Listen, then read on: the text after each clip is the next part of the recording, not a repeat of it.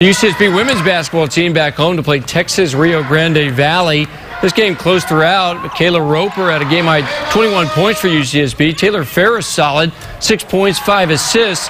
But the Gauchos would lose in the final seconds on a layup by Mary Savoy. 62-60 is the final UCSB one and four.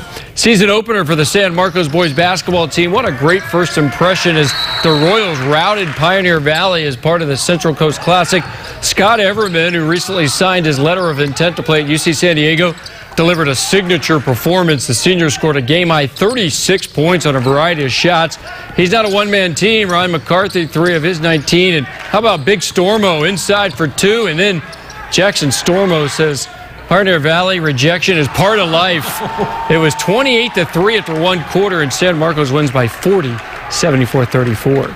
State playoffs in girls high school volleyball. CIF champion Laguna Blanca taking on Summit of Fontana in Division 4.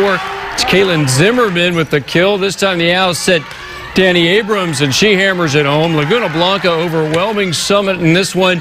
Emily Lafitte gets in on the fun. They win in straight games. Southern California Community College Regional Tournament in women's volleyball. Top seed Santa Barbara battling Mount Sac. The Vaqueros erased a 2-0 deficit in this one. Shannon Friend with a couple of big blasts for the Vaqueros who avoid the upset by winning the final three games.